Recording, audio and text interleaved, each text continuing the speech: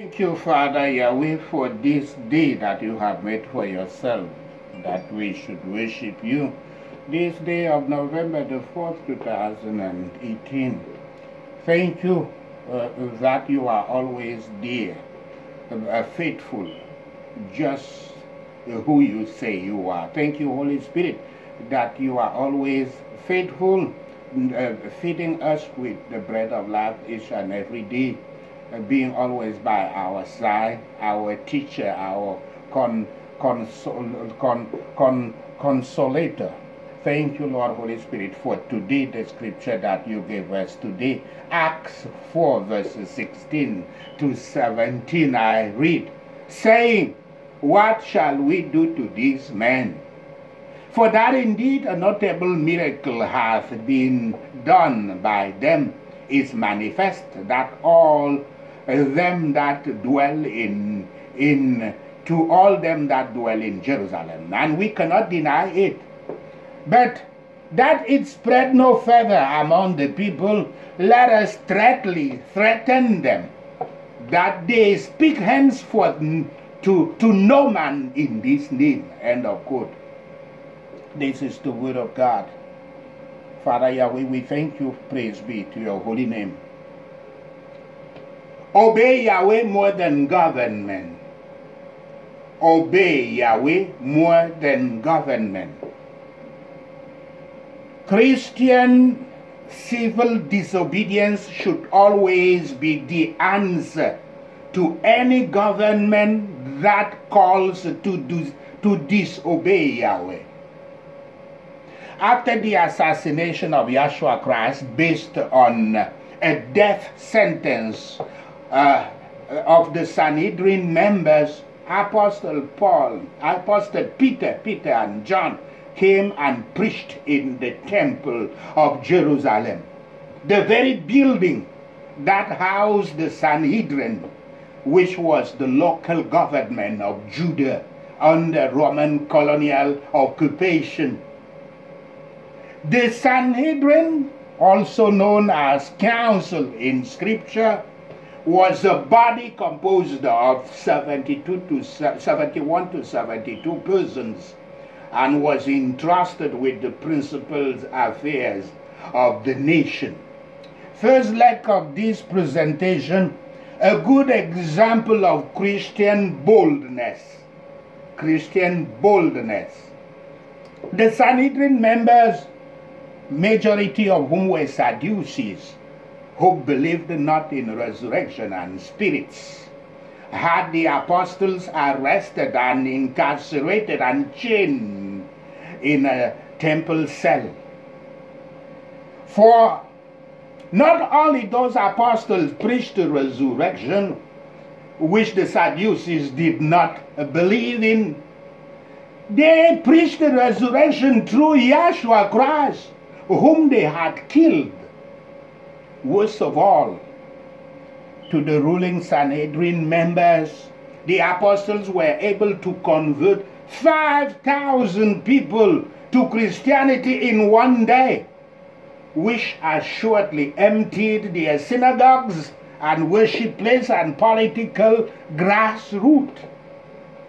The next day, they brought the apostles in the midst of their assembly for judgment asking them by what authority did they perform the miracle of healing a crippled man with thousand before thousand which thousand uh, uh, witnessed. Then the scripture says i quote i prefer to quote here.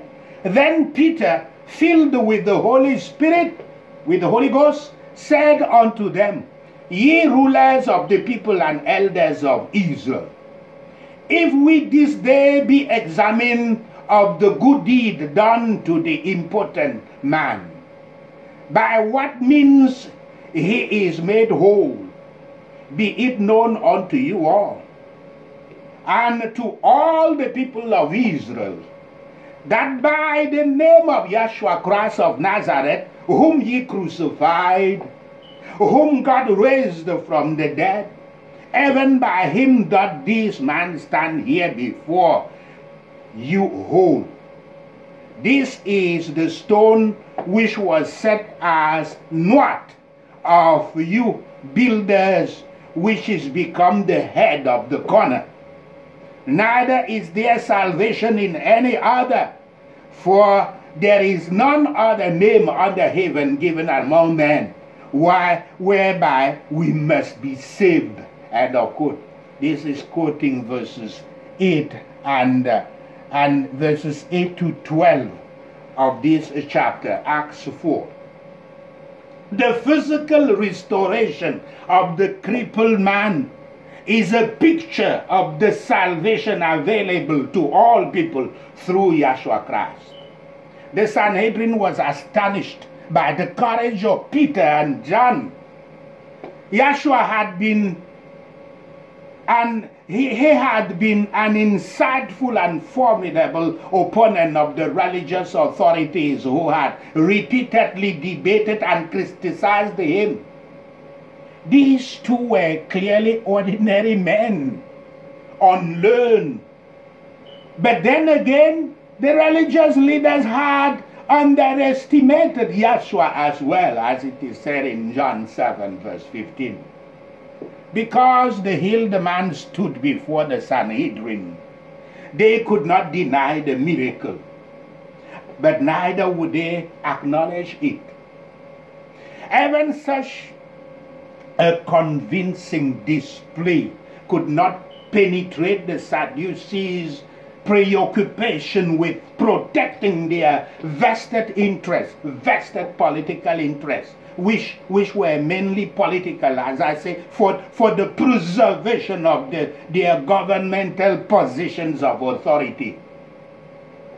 These rulers of Israel had to either be saved by that Yeshua whom they had crucified or they had to perish forever. The name of Yeshua is given to the people of every age and nation as that through which alone believers are saved from the wrath to come. But when covetousness, pride, or any corrupt passion rules within, people shut their eyes and close their hearts in enmity against the light, considering as ignorant and unlearned all who desire to know nothing in comparison with Christ crucified. And the followers of Christ should act so that all who converse with them may take knowledge that they have been with Yeshua. That makes them holy, heavenly, spiritual, and cheerful, and raises them above this world second leg of this presentation, the Jews attempt to outlaw Christianity. We're going to interpret the scripture of the day. The Sanhedrin court called a recess, sent the accused apostles aside and laid their heads together. That means they, they gathered together to, to consult each other. It was their joint endeavor to, to stifle the gospel and would now consult about the best expedient. But they would not let the apostles hear, lest they might discover the weakness of their proofs against them and against the truth. The Council of Sanhedrin was a body of vast influence and power sitting as the local government. And hence they supposed that their command might be sufficient to restrain ignorant Galileans from speaking. These were just ordinary men, John, Paul, and all these apostles. Compared to them in their vast robes with, with gold all over the place before this same body and probably the same men.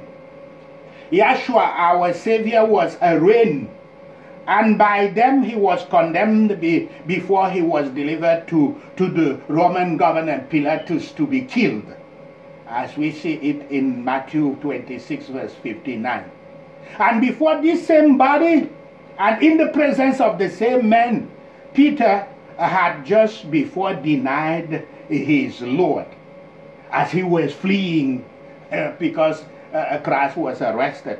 We see it in Matthew 26, verse 7. The fact that the disciple had fled on a former occasion when Christ was killed and that Peter had denied his Savior may have operated to induce them, these Sanhedrin members, to believe that they would be terrified by their threats and deterred from preaching publicly, publicly in the name of Yeshua. So the scripture of the day that the Holy Spirit says, saying, What shall we do to these men? End of quote. The question now debated was clearly one that never ought to have been asked, even asked. They were sitting as a court of justice and should have, have given their verdict for or against the accused according to the evidence. They abandoned that office of judges and begin discussing what policy, what strategy was most expedient. It was, we may add, characteristic of Caiaphas, the Sadducee Sanhedrin head, to do so as we see it in John 11, verses 49 to 50. And the scripture says, For that indeed a notable miracle had been done by them. End of quote. They were convicted. Uh, they were convinced that a miracle was wrought, that it was a clear case, a well known thing, of which there was no room to doubt, and that it was done by the apostles. But this was not all the difficulty. Had it been a thing only within their knowledge, and which they could have concealed it would have, have given um, it would have given them no no uneasiness.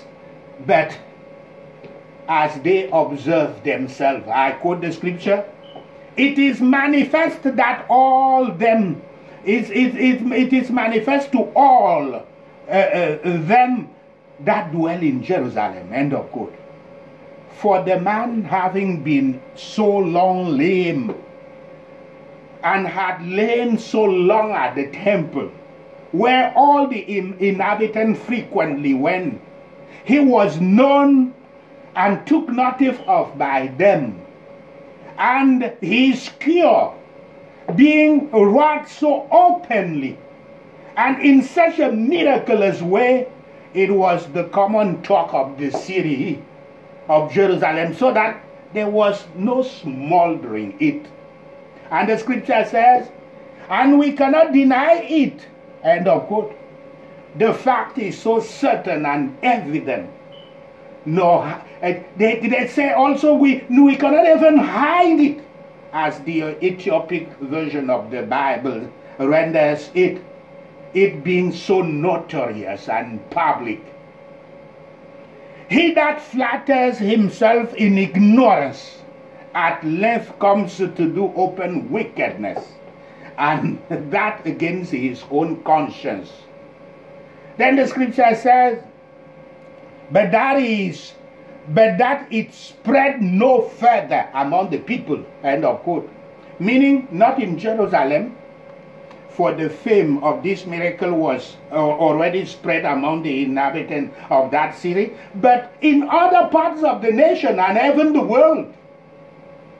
Then the scripture says, let us straightly threaten them. End of quote. Or in threatening, threaten them, that is, severely threaten them with imprisonment or, or with scourging, uh, which was 40 straps, save one. Or with death itself, like they did the Yahshua Christ. And the scripture says, and con- uh, conclude the scripture ends by, I quote, that they speak henceforth to no man in this name, end of quote. which through indignation and contempt they do not even mention, but mean the name of Yeshua Christ of Nazareth.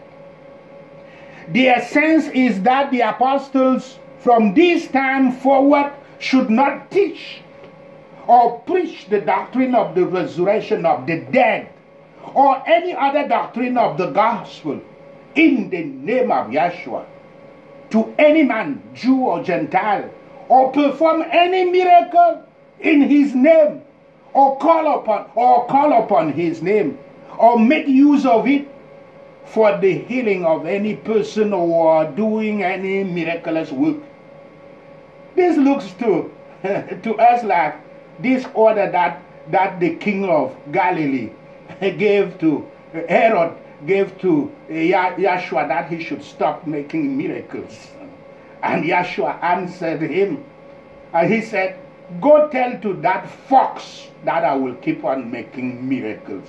This is how Yeshua answered to the king, the king of his of his uh, Galilee. When they had called the apostle back and thus threatened them, the scripture says, But Peter and John answered and said unto them, Whether it be right in the sight of God to hearken to hearken unto you more than unto God, judge ye.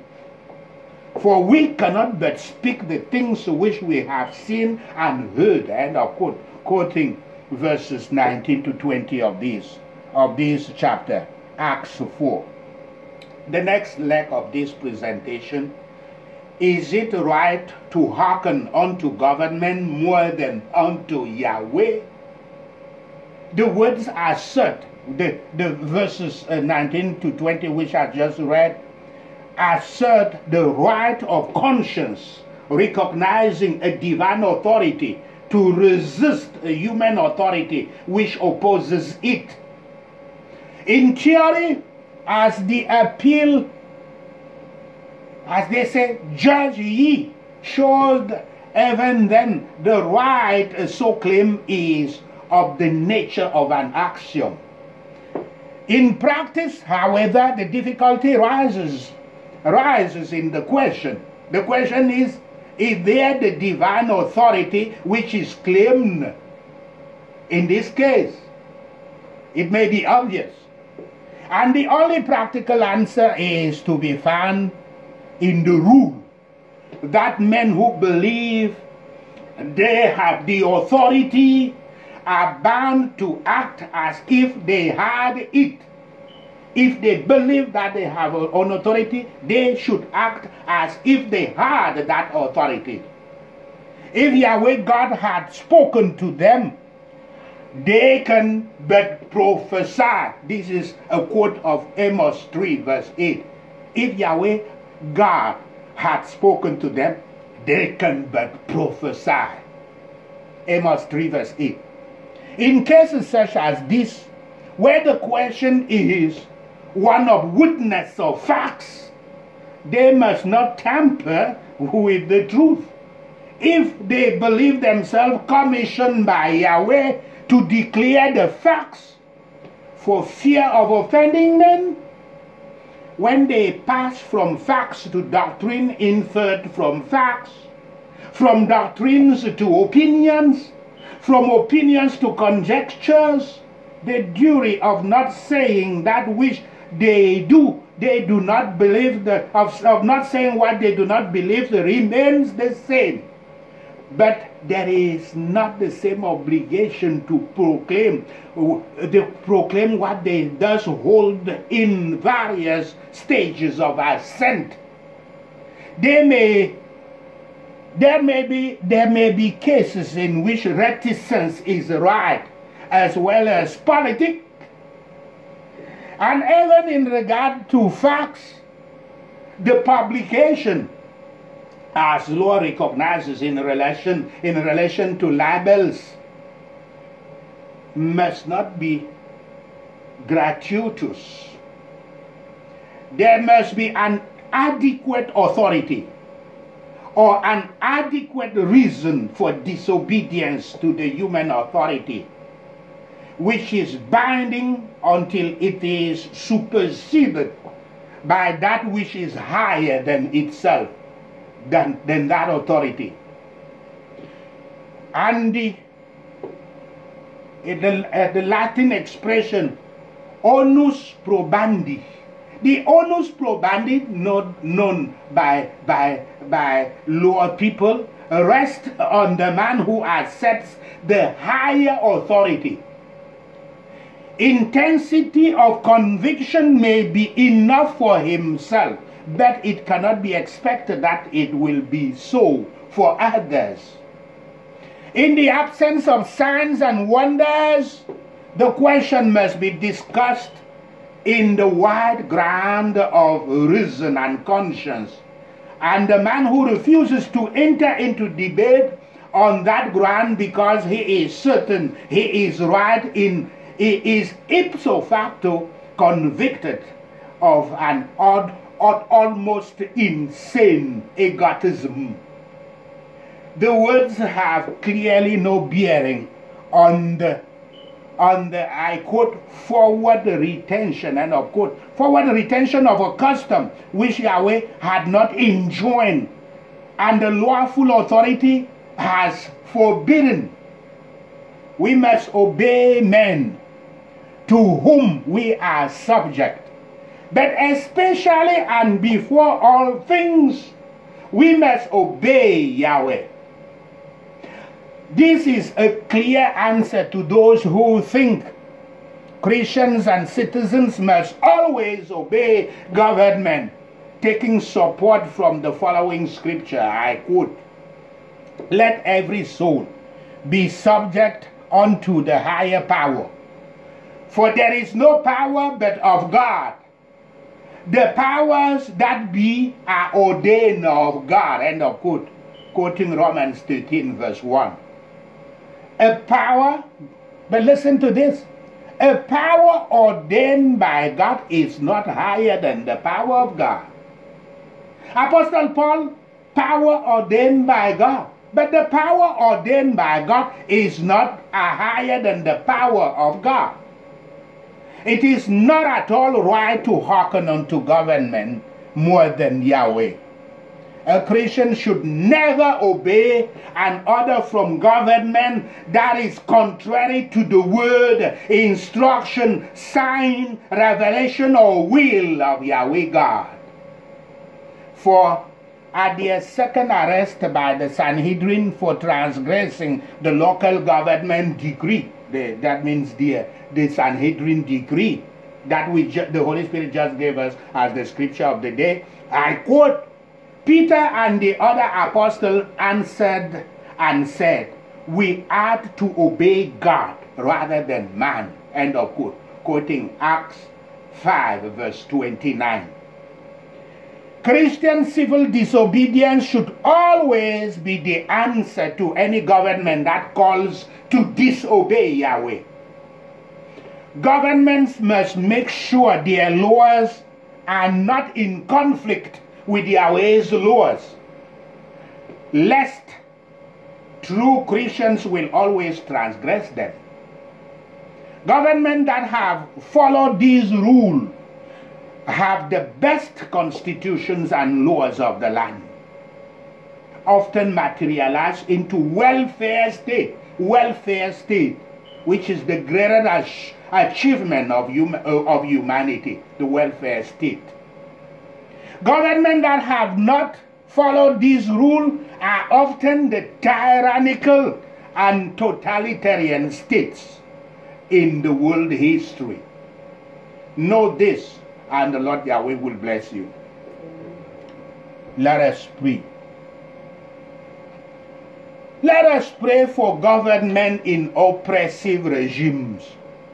1 Timothy 2 verses 1 to 2 has clear instructions that we should pray, I quote, for kings and all those in authority, end of quote.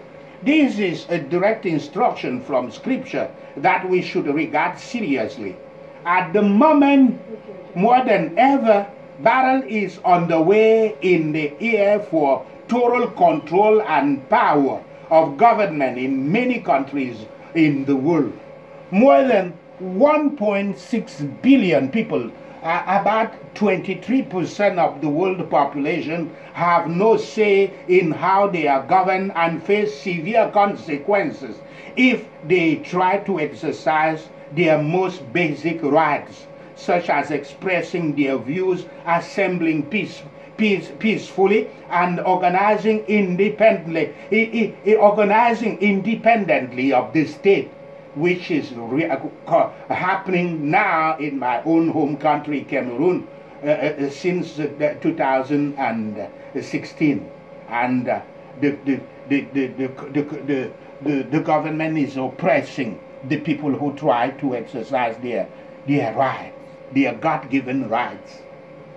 These numbers, 1.6 billion, are increasing day by day as more and more oppressive regimes assert their powers and overthrow government.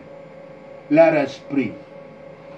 Lord Yeshua brings salvation to leaders of oppress, oppressive regime so that they can be reconciled to Yahweh. In the name of Yeshua, Lord Yeshua, bring salvation to leaders of oppressive regime so that they can be reconciled to Yahweh. In the name of Yeshua, Lord Yeshua, bring salvation to leaders of oppressive regimes so that they can be reconciled to Yahweh. Thank you, Lord. All to your glory. In the mighty name of Yeshua, the Messiah, we pray. Lord Yahweh, specifically send people to them who can witness to them. In the name of Yeshua, Lord Yahweh, specifically, specifically send people to them who can witness to them. In the name of Yeshua, Lord Yahweh, specifically send people to them who can witness to them. Thank you, Lord. All to your glory. In the mighty name of Yeshua, the Messiah, we pray.